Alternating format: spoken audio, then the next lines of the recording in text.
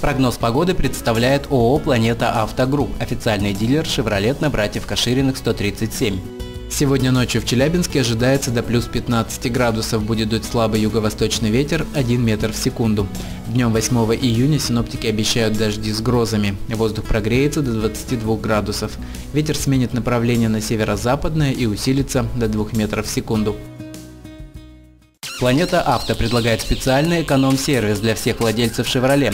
Планета Авто – это квалифицированные специалисты, отличное оборудование и очень привлекательные цены.